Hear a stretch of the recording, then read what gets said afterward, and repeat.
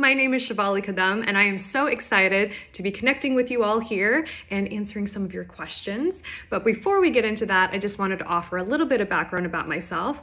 I graduated from Oregon State University in 2018 with my Bachelor's of Science in Chemical Engineering, and since then, I've been working in the semiconductor manufacturing industry because of some of the experiences that I had as a woman in STEM and the barriers that I had to overcome, I am very committed to gender equity in STEM education and currently serve as the chair of the Outreach and Education Committee of the nonprofit organization Women in Science Portland.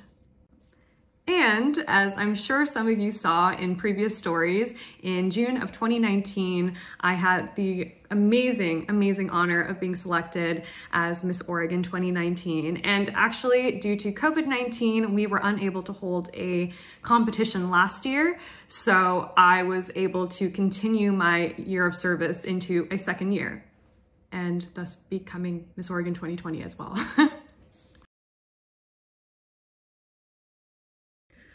My journey into chemical engineering was very unorthodox. So I actually started my collegiate career as an English major because in high school, I hated math. I, I hated it and I thought I was just so bad at it that I never even considered pursuing a career in STEM. It wasn't until college when I started questioning some of those assumptions that I'd made about myself and really seeing female STEM role models for the first time that I was like, hold on, maybe, maybe this is something we want to try. As to why I chose chemical engineering, to be honest, I didn't really know which engineering discipline I wanted to pursue at the beginning, but I was really enjoying my general chemistry courses at the time, so that sort of fed into that decision. And the more research I did, the more I realized that every major industry needs chemical engineers. So I figured no matter what industry or path I wanted to choose in the end, I knew that if I was a chemical engineer, I'd probably find a place for myself there.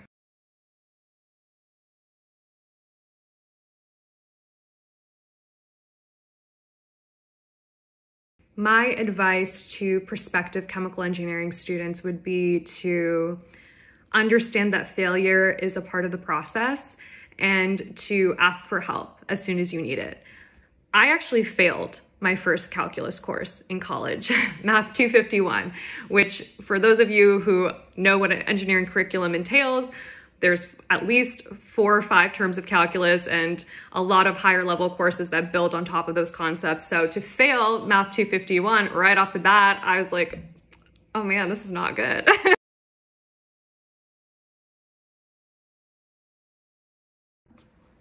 One of my favorite quotes is by F. Scott Fitzgerald, and it goes, Never confuse a single defeat with a final defeat.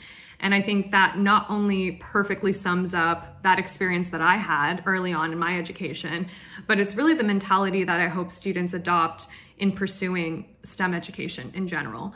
Because the problems that we are trying to solve, the assignments that we're given, they're not meant to be easy they're just not. The, you know, the if if these problems were easy, they would have already been solved. So understanding that failure is an integral part of the process and really the important part is how you learn from those failures and what you do with that knowledge moving forward.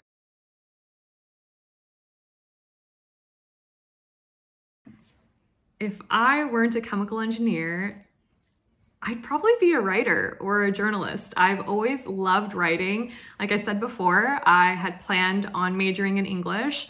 So yeah, I think that's probably what I would have done with my career. I still love writing. It's definitely more of a hobby now. Um, but I love talking about that because I think a lot of people have stereotypes about engineers like, oh, they're only good at they're only good at math and science and they're not good at communication or like all these other things. When in reality, for those of you who are chemical engineers or know chemical engineers, you know that couldn't be further from the truth that we are actually very complex individuals with diverse hobbies and interests. So it's always fun to talk about um, the ways in which we kind of defy those stereotypes.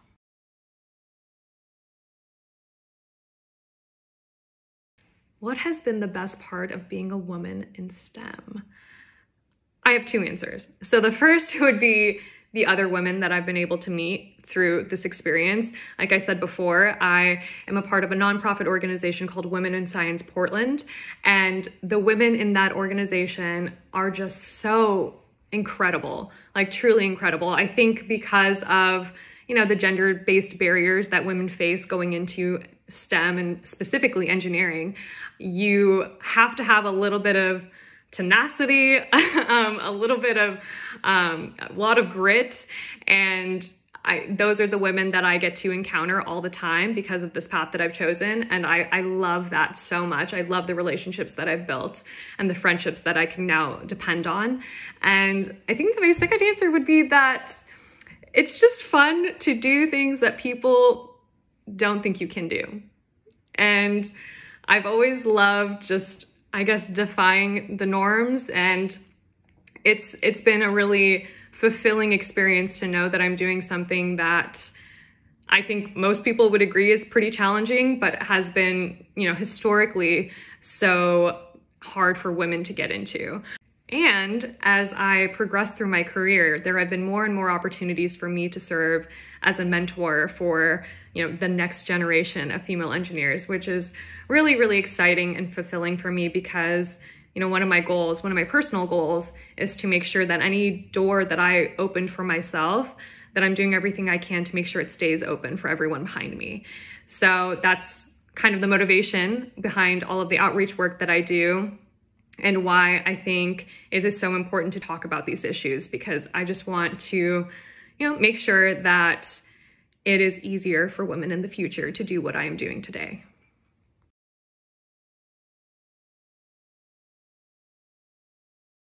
I would not be where I am in life if it weren't for the unwavering support of my parents um, and a little bit of their tough love when, when it was needed and very appropriate to have.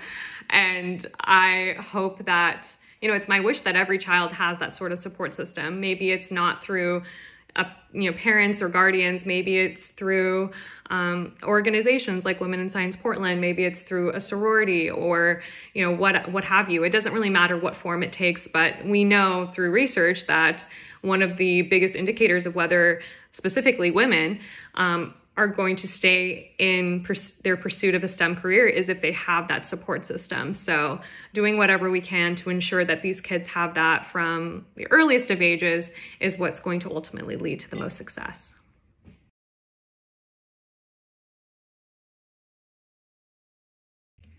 Will I be continuing my career as a chemical engineer having won Miss Oregon? So for those of you who are unfamiliar with the Miss America organization, Miss Oregon is kind of a one-year deal. I am the rare, unprecedented circumstance where it has been a two-year deal. Um, but basically you get a year to serve your state. You get to compete at Miss America and that's that's the end of that opportunity. It also comes with a very sizable scholarship opportunity um, and a lot of other things, but it is definitely not a career necessarily. Um, it's just an opportunity to really engage in a lot of personal growth and professional development in addition to being a really fantastic scholarship opportunity as well. So I am very much staying a chemical engineer. Um, however, I am grateful to the Miss America organization for giving me so much in the way of scholarships so that I can pursue further education down the line. And that's a wrap. Thank you all so much for taking the time to get to know me better, and I hope you all have a fantastic day. Bye now.